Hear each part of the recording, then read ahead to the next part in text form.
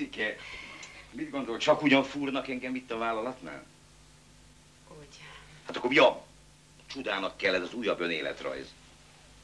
Talán ki akarják nevezni. Igen?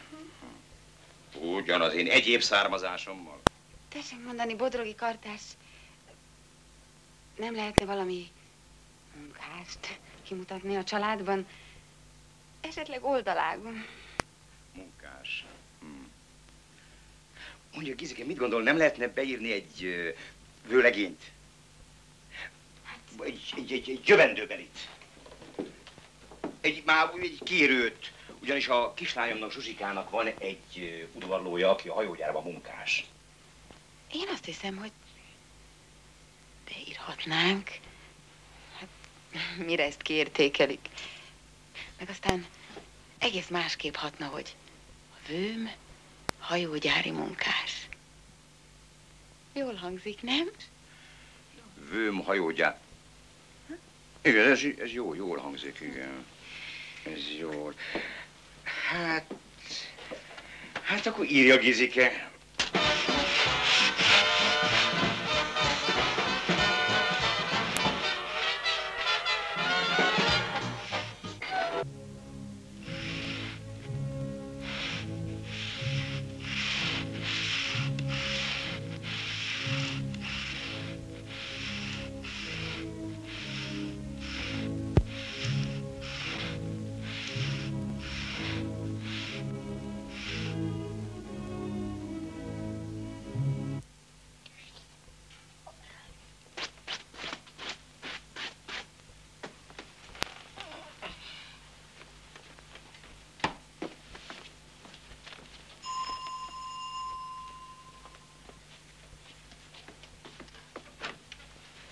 Jó napot, Róza néni.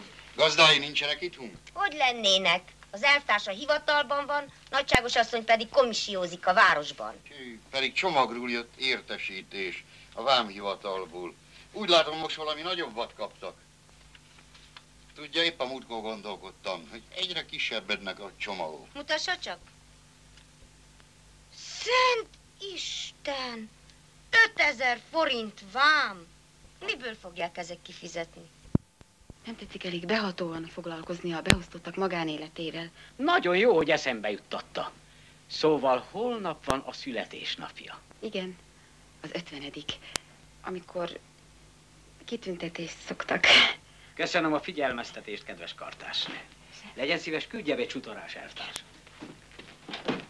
Na mondja csak, Gizike, neki milyen? Semmi, semmi. Tessék mondani, meg volt már az esküvő? Milyen esküvő? Hát az a hajógyári. Miért? Mert az igazgatókartás folyton kérdezi, hogy ismerem-e a bodrogi kartás vejét. Atya Isten, hőm. Szóval már fúranak. Nem, nem, hiszen inkább olyan kartársiasan kérdezte, olyan szeretettel. De hogy itt valami készül, az biztos.